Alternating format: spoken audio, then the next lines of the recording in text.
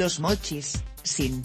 Guión el candidato presidencial de la coalición por México al frente, Ricardo Anaya, señaló que su adversario de Morena, Andrés Manuel López Obrador, se rindió en la lucha como opositor y decidió pactar con el régimen actual. Ad choices advertising in read invented by Teatsanaya Cortés coincidió con su coordinador de estrategia y ex canciller, Jorge Castañeda, en que ya se concretó el pacto de impunidad entre López Obrador y el presidente Enrique Peña Nieto.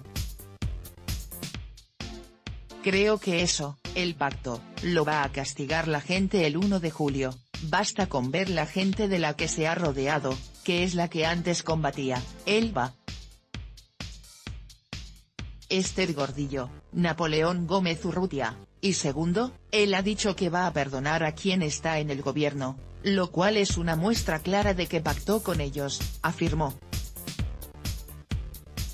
Este miércoles, el Universal publicó una entrevista con el exsecretario de Relaciones Exteriores, Jorge Castañeda, en donde este expresó que entre Andrés Manuel y Peña Nieto, ya se concretó un pacto de impunidad con miras a una transición del Ejecutivo a favor del tabasqueño a cambio de no ir a la cárcel.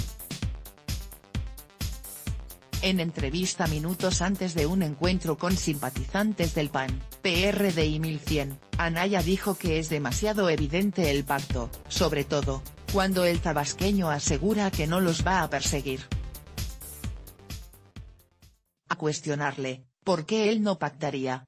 El panista respondió que él le apuesta a cambio de régimen, por eso es que no le interesa pactar, porque no desea ser la continuidad ni el regreso a un pasado autoritario. También señaló que a Andrés Manuel no le interesa la educación, pues de ser así tampoco habría pactado con grupos populares que afectan la misma.